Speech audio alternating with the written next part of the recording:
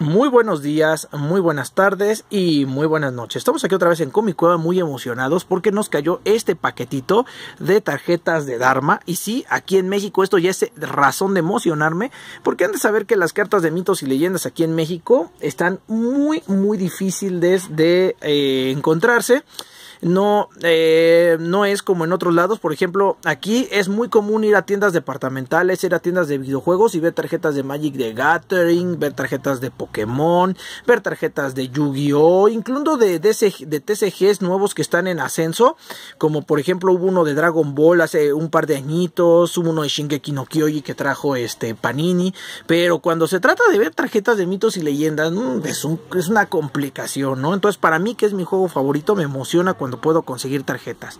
Pero bueno, vámonos a lo que, a lo que viene.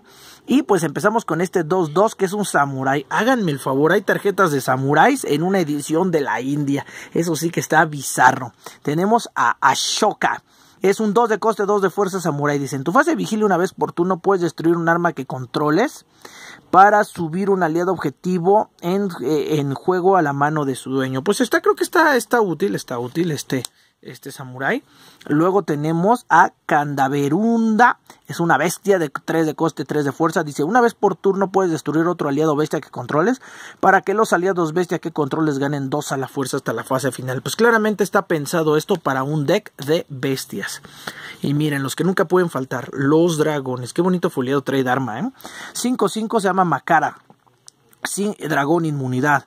Una vez por turno, si todos los aliados que controlas son de raza dragón, puedes subir un oro que controles a la mano de su dueño para cancelar una habilidad objetivo. O sea, igual, está pensado mucho para deck de dragones.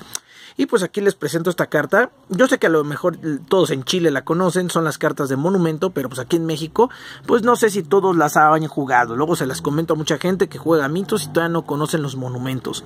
Los monumentos tienen una carta de coste y esta es la cantidad de veces que hay que, que, que tenemos que ejecutar acción para poder terminar de finalizar nuestro monumento. En este caso, para construir este monumento hay que pagar su coste. Y dice, para construir este monumento debes haber jugado un aliado este turno. O sea, de aparte de haber pagado dos oros, tienes que haber jugado un aliado para poder jugar un monumento. ¿Desde dónde se juega el monumento? Desde fuera del extra deck. Eh, digo, desde el extra deck. El monumento no, se, no está dentro de las 50 cartas del deck, entonces este se puede jugar desde afuera. Y dice aquí, Em, construcción. Para construir este monumento, dice, el aliado objetivo gana 4 a la fuerza, furia hasta la fase final. O sea, pagas 2. Tienes que, primero tienes que haber jugado un aliado este turno. Luego pagas 2 oros, construyes el monumento y es un aliado que tú controles gana 4 a la fuerza y furia. Muy bueno. Dice progreso. El progreso es el momento en que le ponemos token al monumento para que empiece a funcionar. Y dice, si dos o más aliados entraron en juego bajo tu control este turno, pon un contador de tiempo sobre este monumento. O sea, meto dos aliados este turno y ya tengo derecho a ponerle un contador. Entonces necesito cinco contadores para finalizarlo. Dice finalización. El oponente objetivo vota una carta por cada aliado en cementerio. Entonces le puedes hacer un bote desde 4, 5, 6. No sé. El punto es que lo padre del monumento es que sus habilidades no pueden ser canceladas o redirigidas. Entonces el monumento va a eh, si tú lo logras construir va, va, va a funcionar porque va a funcionar. Luego aquí tenemos a Sarasvati.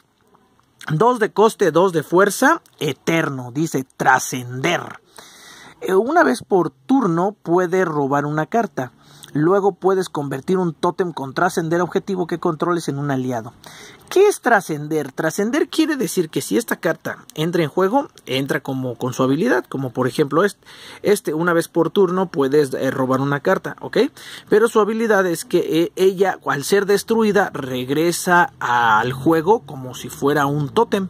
Entonces es como parecido ilusión, trascender te permite regresar al juego como tótem. ¿Para qué? Pues para que cartas como esta transformen a otras cartas con trascender otra vez de nuevo en aliados. Y este es un eterno. Luego tenemos aquí otro samurái. Este se llama Dice, cuando este aliado entre en juego, si todos los aliados que controla son samurai, busca hasta tres cartas de arma de distinto nombre en tu mazo castillo y ponlas en tu mano. Pues como ven, básicamente un buscador de armas. Luego tenemos este que si se dan cuenta el foil es diferente. Aquí tenemos el foil regular de las cartas y ven este foil, este debe ser, yo creo que debe ser como una mega real, se me figura.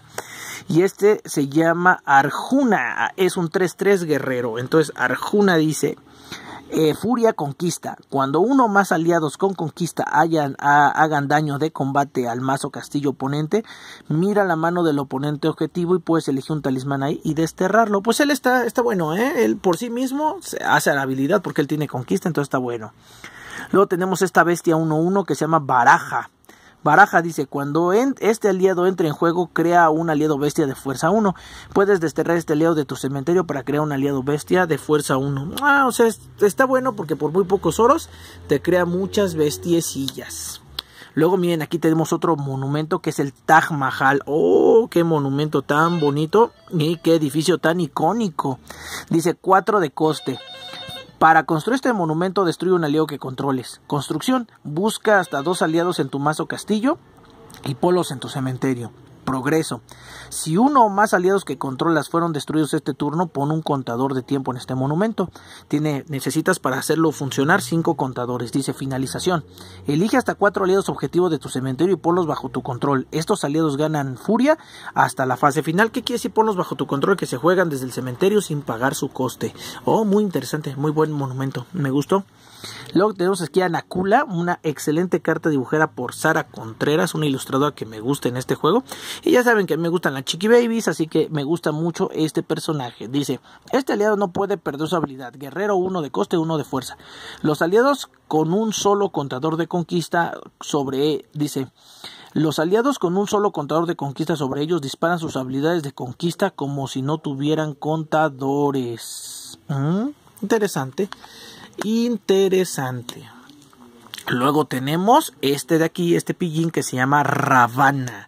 Ravana ¿qué hace? Dice indestructible. Los aliados que no sean que no sean sombra deben ser declarados atacantes cada turno si pueden hacerlo. ¿Mm? Pues digo, para una estrategia sombra eh, obligas al oponente a estar pegue, pegue, pegue. Aquí tenemos un sombra 3-3 que se llama Mara. Cuando este, cuando este aliado entre en juego puedes jugar un aliado sombra de coste 2 o menos de tu cementerio sin pagar su coste. O sea que con, que con Mara podemos jalar a Raba. Está interesante, está interesante. Luego tenemos aquí a Triquera. Sundari. Es un 3 de coste, 3 de fuerza. Es una eterna. Me gusta esta ilustración de quién es. De Gabriel Rojas. Muy bien, Gabriel. Cuando este aliado entra en juego, si controlas un tótem, puedes buscar un tótem de coste 3 o menos en Tomaso Castillo y poner y jugarlo sin pagar su coste. O sea, está pensado para el deck de trascender, porque ven que los decks de trascender jalan con muchos tótem. Luego tenemos este bestia 2-2 que se llama Waguia. Dice, cuando este aliado se ha destruido por un efecto que controles, crea dos aliados bestia de fuerza 1, o sea, para vesticillas. Este me gustó, se llama Veneno de Naga, uno de coste talismán. Destruye un aliado objetivo declarado bloqueador. Me gusta, creo que es muy práctico. Luego tenemos a Vavani, uno de coste 3 de fuerza ancestral. Él, ella es imbloqueable. Pues es lo que te digo, está, simple esta habilidad, pero uno de coste 3 de fuerza imbloqueable es la hace este, útil. Acá tenemos otro veneno de Naga. Y aquí tenemos esto que se llama Badar Log. Órale, esta, esta, esta imagen me recuerda a muchas fans de Shakira que andan ahorita aquí en mi país, este, pululando. Dice.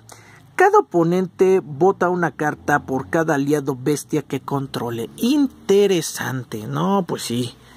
Votadero para todos. O sea, perder, perder. No, pues sí, definitivamente esa carta debería de amarse Legión de Shakira. 4-4. Bestia. Tenemos a eh, Sarimau Jadian es un 4-4 bestia. Dice, cuando este aliado se ha destruido por un efecto que controles, crea tres aliados bestia de fuerza 2. Interesante, interesante. Tenemos esta que se llama Upananyana, 3 de coste, talismán. Dice, cada oponente vota dos cartas por cada aliado guerrero que controles. O sea, esto es para guerreros. Vamos a poner por acá con los guerreros. Luego tenemos aquí sacerdotes. También hay en esta edición, como pueden ver, aquí tenemos a Chocamela. Uno de coste, dos de fuerza, sacerdote. Una vez por turno, si todos los aliados que controlas son sacerdotes, puedes mirar la, la, la carta superior de tu mazo castillo. Luego puedes poner esa carta en la parte inferior de tu mazo castillo. Pues está interesante para reciclar en caso que no te funcione. Seri Gum Gum es un dragón, 2 de coste, 3 de fuerza. Una vez por turno, cuando un oro entre en juego bajo tu control, si todos los aliados que controla son dragón, cada oponente bota 3 cartas. Pues está bueno como para un deck de bote. Shi eh, Digambap es un totem coste 2. No se pueden poner contadores sobre las cartas en juego. Si una carta fuera a entrar en juego con uno o más contadores, entra en juego sin contadores. Pues bien, para, precisamente para romper estrategias de contador. Eh, Guru Nanak, uno de coste, uno de fuerza, sacerdote. Dice, una vez por turno puedes purificar una carta objetivo de un cementerio. Luego este aliado gana dos a la fuerza hasta la fase final. Y luego aquí dicen eh, eh, como letras pequeñas. Las cartas purificadas pueden eh, elegir eh, desterrarla o barajarla en el mazo castillo de su dueño. Bueno, para los que no saben qué es purificar, ahí está clarísimo. Luego tenemos a Narasimba. Narasimba es un 2 de coste, 2 de fuerza eterno. Dice, cuando este aliado entra en juego, si tienes un monumento construido, destruye el aliado objetivo. O sea, eh, les digo, los eternos vienen muy fuertes como para los monumentos. Otro sacerdote. Dumi, talismán coste 2, purifica hasta 3 cartas objetivo de los cementerios, luego roba una carta. Mm, interesante, interesante, se me hace interesante. Acá otro Serigum Gum.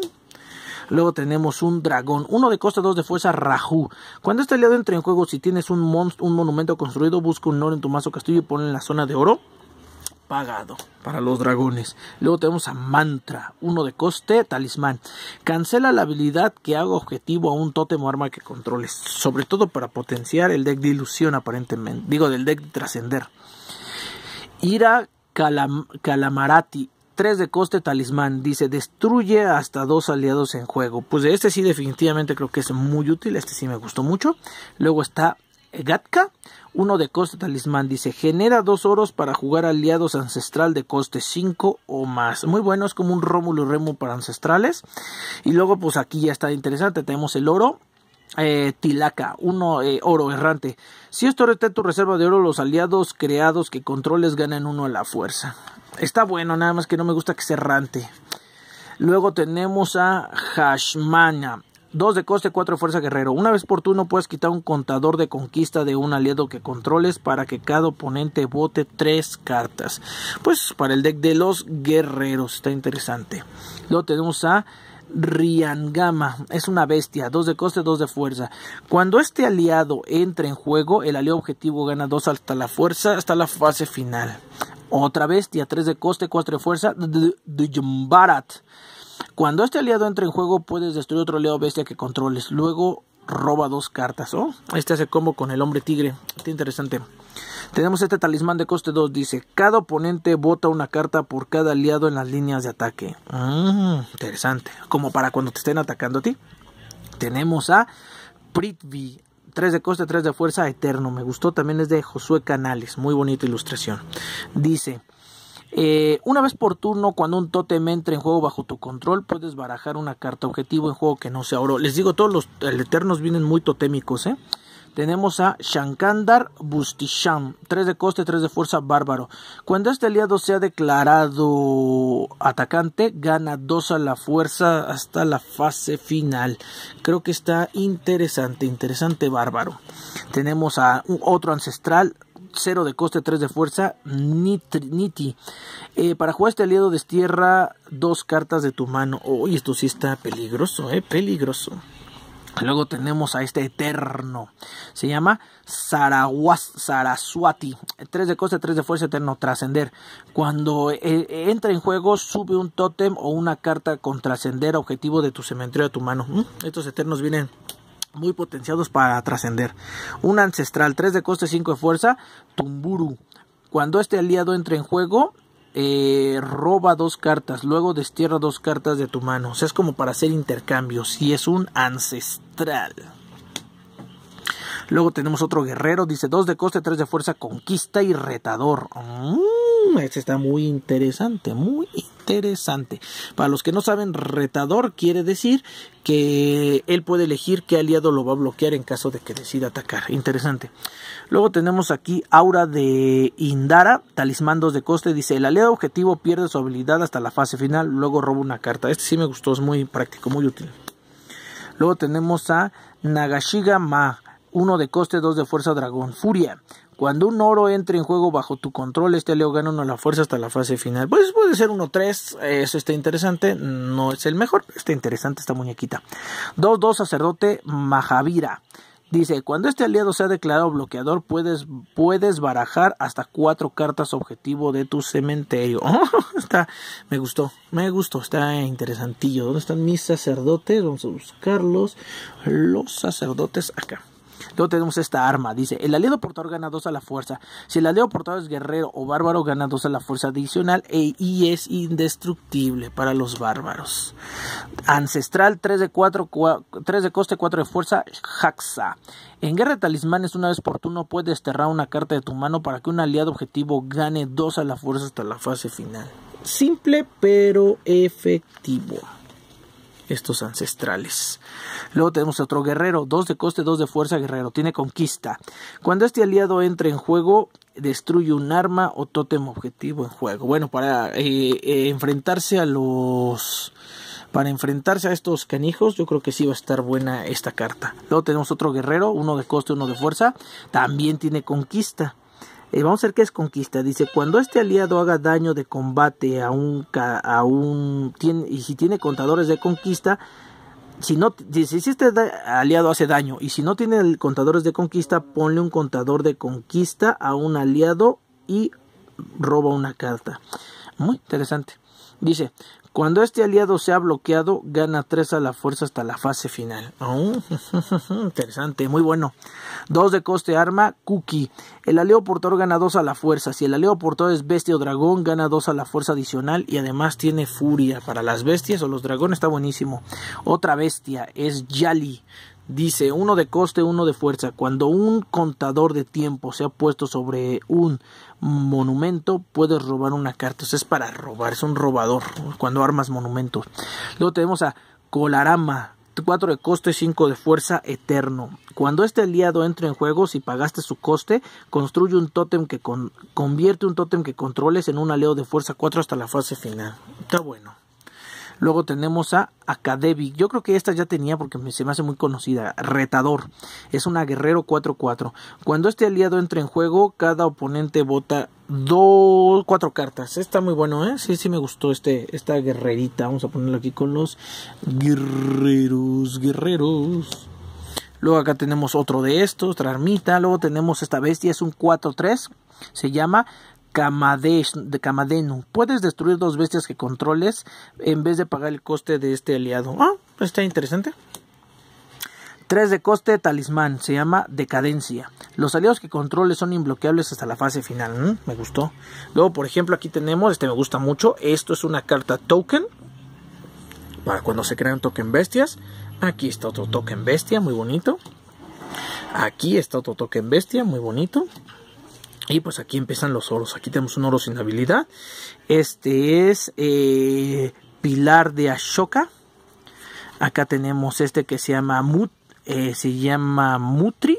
Y Muti, perdón, Muti es un oro que dice: Cuando este oro entra en juego desde tu mano, puedes barajar hasta dos cartas de tu mano. Luego roba esa misma cantidad de cartas. Ah, está bueno, es para reciclar las cartas. Luego tenemos este que se llama Ingam.